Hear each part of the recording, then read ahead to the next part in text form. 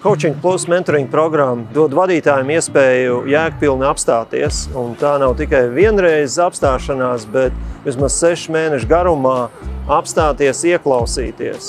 Ieklausīties sevi un arī ieklausīties apkārtējos. Tā nav tāda rūpnīcas apmācība vai rūpnīcas kurs. Tā ir tāda ļoti personiska attieksme pret jums kā cilvēku, ļoti delikāta, uzmanīga un tāda iekļaujoša vide. Es teiktu, ka es ļoti bieži neesmu saskāries ar kaut kādiem izaugsmes kursiem, kur ir tik personiska attieksme tieši pret mani kā cilvēku.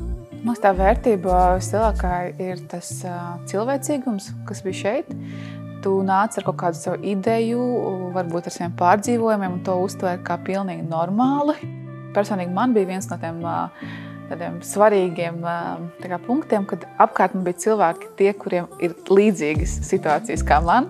Es neesmu viena pati tāda ar savām, saviem pārdzīvojumiem, kaut kādām problēmām. Visi pārējie, kas mēs šeit bijām, mēs neesam ieinteresēti kaut ko nepareizi ieteikt vai kaut kādu labumu iegūt no tiem ieteikumiem. Mēs esam pilnīgi objektīvi, neatkarīgi. Un, un līdz ar to arī tā vislielākā vērtība, ka tu saņem no, no pārējiem iesaistītajiem objektīvu skatījumu, objektīvus ieteikumus, un kas turklāt vēl balstīt arī uz pieredzi.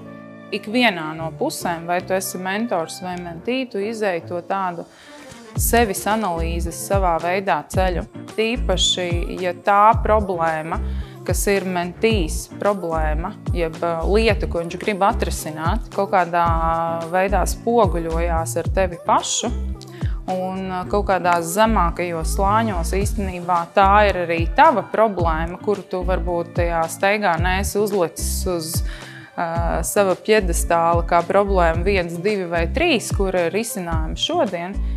Tas, manuprāt, ir tas vērtīgākais tajā pusgadā, ka tu patiesībā strādā gan ar to cilvēku un palīdzi viņam kaut ko sasniegt, gan kaut kādas lielās lietas, lielās atziņas eh, patiesībā gūst priekš sevis. Jā. Un domāju, ka tas tas galvenais ir, ko atšķirās. Tā drošības sajūta, kad jūs risināt problēmas kopīgi. Manuprāt, galvenā atšķirība starp uh, tādām nu, klasiskajām mācību programmām un starp šo ir tā, ka nu, aizejot uz kursiem vai uz semināru, nu, tiek iedots kaut kāds ļoti teorētisks materiāls, ko tu nu, varbūt paņem vienu lietu, vienu metodi, divas, Un, un, un, nu, tas ir labākajā gadījumā, un pēc tam to izmanto. Šī programma uh, bija pusgadu, un tas ļāva nevis tikai dzirdēt, sadzirdēt, tā tur ir iespējams tā darīt, bet arī tā kā caur sevi izdzīvot. Izdzīvot, pamēģināt, apstiprināt, vai tas strādā vai nestrādā, atnākt vēlreiz atpakaļ, to pārunāt, pamainīt iespējams kaut kādus virzienus. Un tas ir tāds, nu, es pat viņu nesauktu tiešām kā ne, neapmācību programmu, tas ir tāds, nu, tāds periods dzīvē īstenībā īstenībā. Nevelti mēs šai, šai programmai veltām pusgadu un ne mazāk, jo lietām ir jādod laiks. Attīstības procesam ir nepieciešams laiks.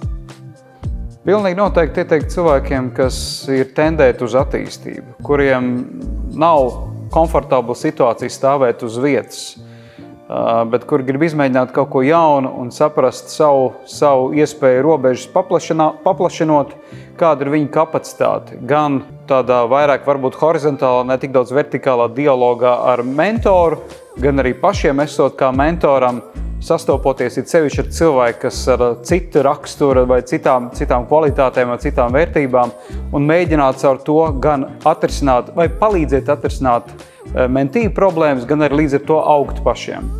Man liekas, ka ja cilvēks kā vadītājs ir izaudzis līdz uh, noteiktam līmenim, nu, mūsu pienākums pat ir pret sabiedrību un pret pārējiem, kas ir palīdzējuši, padalīties. Ja jums ir sajūta, ka jūs esat gatavi ar kaut ko dalīties, ļoti dažādas, tā var būt profesionāls zināšanas, tas var būt vispārīgākas zināšanas vai vispār liela dzīves pieredze, manuprāt, šī ir lieliska iespēja vienkārši padalīties un tādā veidā vienkārši padarīt to sabiedrību labāku, biznesa vidi Latvijā labāku. Tā ir viena lieta. Un uh, no mentī puses kolosāls instruments, kādā veidā risināt kaut kādas sarežģītas, komplicētas lietas. Tas ir ļoti labs instruments, kādā veidā virzīties uz priekšu. Jūs esat strupceļā, vai jūs netiekat uz augšu, jūs sitaties pa to savu kastīti un nezināt, uz kuru pusi iet ārā.